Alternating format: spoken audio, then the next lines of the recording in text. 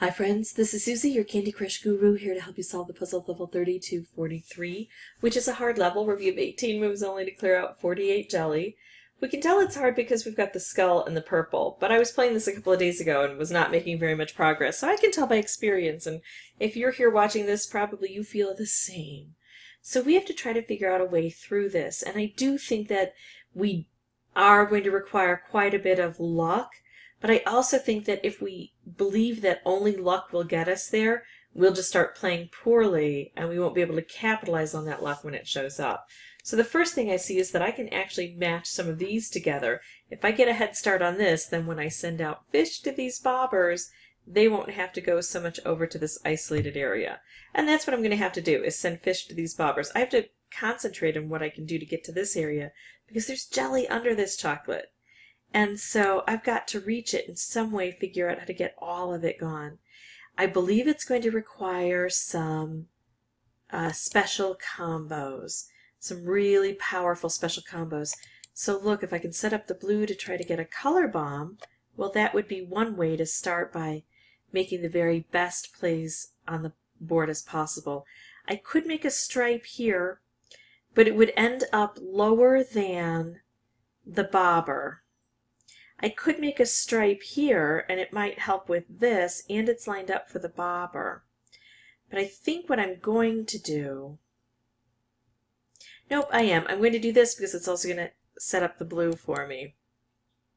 There we go. So now I've got this nice combo. I don't have as much orange on the board as I would like. I'm going to tempt fate just a bit, but not too much. I don't want to really mess this up. So here we go. We're sending out the orange. The nice thing about this board is the chocolate has nowhere to grow. So that's one advantage. Now I talked about combos. In order to get this really going, I'm going to need some wrapped, striped combos probably. How do I get wrapped striped? Well, what if... I just blew up a lot of stuff pretty but not helpful. Although it did clear this out so that when the fish have somewhere to go, they know where to go. But yeah, this is just going to be me experimenting with how in the world can I make the best opportunity of this. See, if I had been able to get that striped wrapped combo, that might have helped me out immensely. Although at this point in time, I think I really am going to need probably three of those on the board to get this done. That's where the luck is going to come into play. So not very close here. Let me now pause the recording and I'll come back and the next level I show you is either going to have something instructive about it where I've learned uh, a strategy that's working well or a pitfall to avoid or I got close so I'm showing you how, the mechanics of how it can be done. Or of course if I show you the win I think that's instructive too. So I will pause the recording and meet you back here in just a bit. Okay, so let's see what we can do with all this. Now that I've got an orange on the board, maybe I can take out the other orange so I can try to pair this up. There we go, we got that going. Opening all this, the fish are doing their job, so now there's no chocolate on the board, which is nice. Now I can reach to the jelly, which are still double thick, so still a lot of work to be done. Let's take out more stuff here. I've got my wrapped. How can I set a stripe with it? Well, if I make this stripe, then the, the green takes off.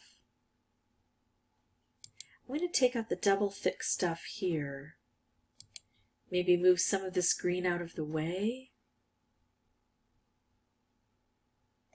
Actually, let's get that green together and see if we can drop something else into position. See, too much green would have been volatile volatile on the board. But look at this. This is a significant way to hit lots of these bobbers and clear out some stuff on my own. But notice there was a lot of double thick stuff, so now I still have so much more that needs to be accomplished. I could try to get a color bomb by dropping a blue in there, but I actually prefer going with a... Oh, this is perfect.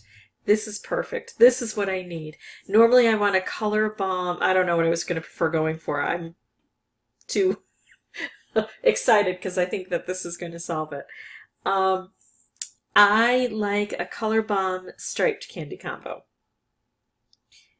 I get a wrapped here, but this is the perfect opportunity to get a wrapped because I did that work in the beginning and now this is cleared out and there is an abundance of purple here plus there's purple here.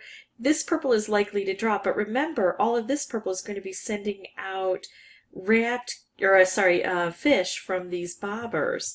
So this should do the trick, right? Unless the fish are completely stupid and thankfully they were smart enough to go right where I needed them to.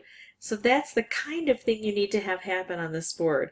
All along I thought if I get three striped wrapped combos or if I get uh, one striped wrapped combo to clear most of this out and then a, a color bomb wrapped combo, that would probably be best. It's hard to do. That was only my 12th playthrough, but remember, luck can happen in the very beginning or after a long time. The trick is to always be thinking about the moves that are possible to help you win so that when luck strikes, you can take advantage of it. If this was helpful, I'd ask that you consider liking and subscribing. If you have any questions or comments, please put those below. And as always, thank you so much for watching.